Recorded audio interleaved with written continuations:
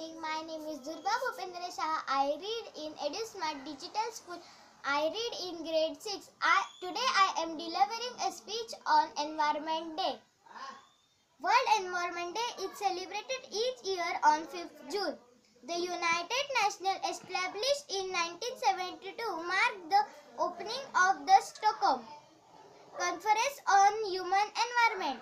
World Environment Day is hosted every year by a different city and celebrated with an international exhibition through the week of June 5th.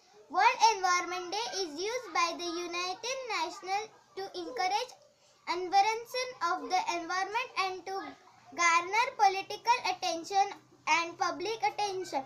The first World Environment Day held at Stockholm was the first time political Stockholm was the first time political, social and economic problems of the global environment were discussed at great length in way of taking some def- definitive action. Global environment were discussed at great length to way taking some definite action. World Environment Day is celebrated in many ways. Street, ra- street rallies, parades, street plays create answers about world environment.